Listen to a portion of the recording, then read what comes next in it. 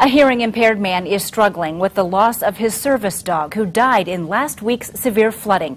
His co-workers have started a GoFundMe campaign to get him another companion. News Channel 15's Kai Pessoa met with the man and he's in Studio 15 with more.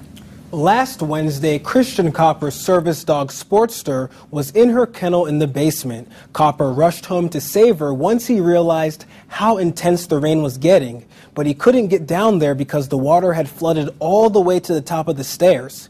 He was too late.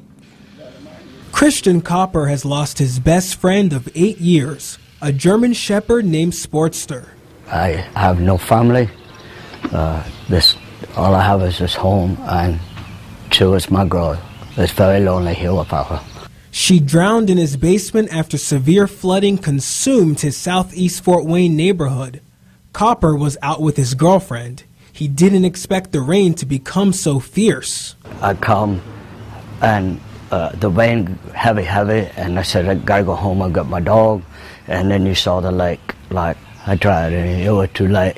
Got the sewer lids off I could do no more, so I left. I was very distraught about my dog. Copper says Sportster was the reason he could function as a deaf man in the world. She let him know when someone was at his front door, when he was getting a phone call. She went everywhere with him. He says he can't even think about replacing her just yet. Sportster was his world. No dog ever made me laugh as much as Sportster did.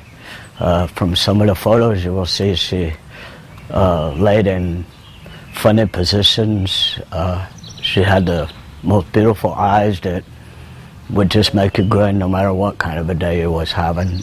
All she did was want me. She waited for me to come home all day, and uh, that's all she wanted to do. If, if she was with us right now, she'd be sitting right here.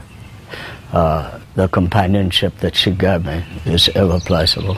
I love her very much, and I always will. If you'd like to donate to the GoFundMe campaign to help Copper get a new service dog, find this story on WANE.com. Kaitor Pessoa, News Channel 15.